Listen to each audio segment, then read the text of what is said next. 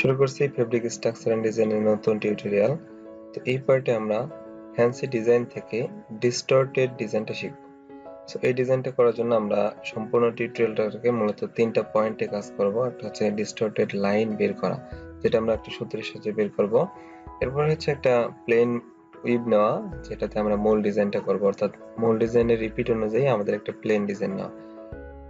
এরপরে থার্ড কাজটা হচ্ছে আমাদের ডিস্টর্ট লাইনটাকে বসানো। লাইনটা বসানোর ক্ষেত্রে আমাদের দুইটা নিয়ম। একটা হচ্ছে ওয়ার্প ইফেক্ট তৈরির জন্য বসানো, একটা হচ্ছে ওয়েভ ইফেক্ট তৈরির জন্য বসানো। আমরা এট ফার্স্ট ওয়ার্প ইফেক্ট তৈরি করব। এরপরে আমি কীভাবে ওয়ার্প ওয়েভ থেকে বা অথবা ওয়েভ ইফেক্ট কীভাবে তৈরি করতে পারি সেটাও দেখাবো। সো ডিজাইনটা করার জন্য আমাদের প্রথম কাজ হচ্ছে রিপিট সাইজ নির্ধারণ করা। তো আমাদের এখানে একটা বিষয় অবশ্যই মাথায় রাখতে হবে যে রিপিট সাইজটা অবশ্যই দুই এর গুণিত হতে হবে। অর্থাৎ যদি আমি চোদ্দ ঘরে নেই, চোদ্দ, ষোলো অথবা আঠারো, এইভাবে দুইয়ের গুণিত হবে। তো এখানে আমি একটা ডিজাইন নিচ্ছি রিপিট সাইজ নিচ্ছি হচ্ছে আঠারো গুণ আঠারো। আঠারো গুণ আঠারো করে ডিজাইনটা করব। সো এখন আমাদের কাজ হচ্ছে এক নম্বর যে স্টেপ ডিস্টর্টেড লাইন বের করা অর্থাৎ কয় ঘর পরে এবং কয় ঘর পরে ডিজাইন হবে এবং দুইটা ডিস্টর্টেড লাইনের মধ্যে কয়টার সুতার পার্থক্য থাকবে? অর্থাৎ কয়টা সুতা পর পর ডিস্টর্টেড লাইনটা আসবে? সো আমরা যদি রিপিট সাইজ আঠারো হয়, তাহলে একটা ডিস্টর্টেড লাইন থেকে আর একটা ডিস্টর্টেড লাইনের দূরত্ব হবে আঠারো minus two divided by two অর্থাৎ ষোলো divided by two is equal to আট, অর্থাৎ আটটা সুতা পর পর ডিস্টর্টেড লাইনটা আসবে। এখন আমরা স্টার্ট করব কোথা থেকে? অর্থাৎ প্রথম যে ডিস্টর্টেড লাইনটা বসাবো, এই লাইনটা আমরা কোথায় বসাবো? এটা বের করব হচ্ছে এই আট ডিভাইডেড বাই টু অর্থাৎ চারটা সুতা পর আমরা এট ফার্স্ট আমরা বসাবো সুতাটা। তো দেখো, আমি এই ডিজাইন আঠারো গুণ আঠারো করে প্লেন ডিজাইন নিছি। তো এবং এখানে এক, দুই, তিন, চার। চারটা ঘর পরে আমি এখানে একটু মার্কিং করছি যে এই লাইন বরাবর আমাদের ডিস্টর্টেড লাইনটা হবে।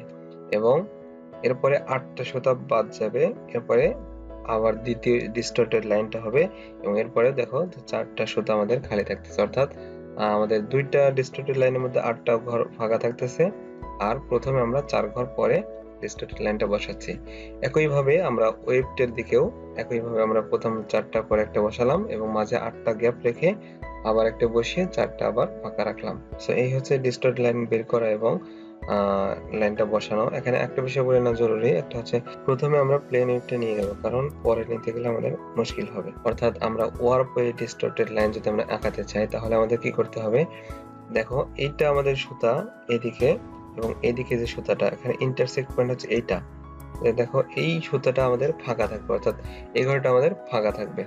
আমি ফাঁকা রাখার জন্য আপাতত একটা অন্য কালার ব্যবহার করতেছি, এইটা। এবং এই প্রত্যেক ইন্টারসেক্ট পয়েন্টটা আমাদের ফাঁকা থাকবে।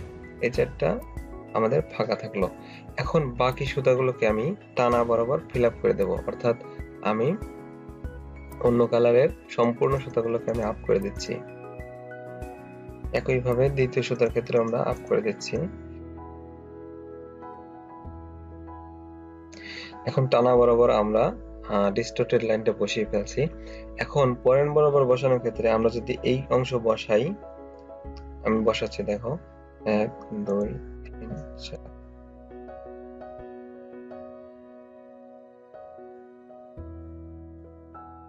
তো এখানে আমাদের বসানোর নিয়মটা হচ্ছে, এই বরাবর আমি টানাটা বসাচ্ছি এবং মাঝের অংশ ফাঁকা রাখতেছি এবং এই মাঝের অংশটা হবে এখান থেকে।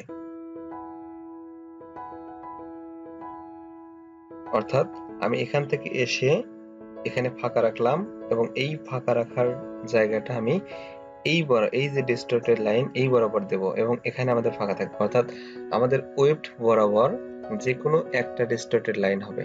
কিন্তু এটা আবার ভেঙে ভেঙে হবে। অর্থাৎ প্রথম সুতাতে কিছু অংশ এবং বাকি সুতাতে কিছু অংশ। এখানে উল্লেখ্য যে, প্রথম সুতার যে অংশ আমি ফিল আপ করব, দ্বিতীয় সুতার সেই অংশ আমাদের ফাঁকা রাখতে হবে। এবং যে অংশ আমি প্রথম সুতার গ্যাপ রাখব, সেই অংশটুকুই কেবল দ্বিতীয় সুতার ক্ষেত্রে আমাদের ফিল আপ হবে। এখন আমাদের যেহেতু এই চারটা ইন্টারসেক্ট পয়েন্টটা আমরা ফাঁকা রাখার কথা, আমি এখানে অন্য কালার দিয়ে রাখছি যাতে সহজে বোঝানো যায়, দেখানো যায়। তো আমি এটাকে এখন ফাঁকা করে দিচ্ছি।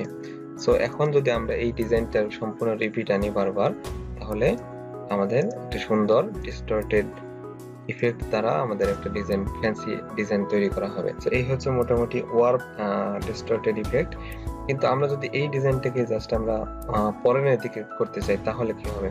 দেখো, আমরা যদি ওয়েবড ইফেক্ট তৈরি করতে চাই, তাহলে আমাদের যে এই ডিস্টর্টেড লাইনটা আমরা যেভাবে আঁকাইছি, এটা সম্পূর্ণ মুছে দেব এবং অর্থাৎ আমি প্লেন ডিজাইনটা আবার নিয়ে নিচ্ছি। ওয়েবড ইফেক্ট তৈরি করার জন্য আমাদের যে মূল ইন্টারসেক্ট পয়েন্ট এটাকে আমরা আগে ফিল আপ করব। তো এটা ফিল আপ করার পরে এখন আমাদের কাজ হচ্ছে এই বাকি, এই বরাবর আসা। অর্থাৎ এটুকু আমি ফিল আপ করলাম এবং এখানেও কিছু অংশ বাদ রেখে এগুলো আমাদের ফিল আপ করলাম। তো এখন দেখো, আমাদের কিন্তু এটা ইন্টারসেক্ট পয়েন্ট আবার এটাও ইন্টারসেক্ট পয়েন্ট ছিল।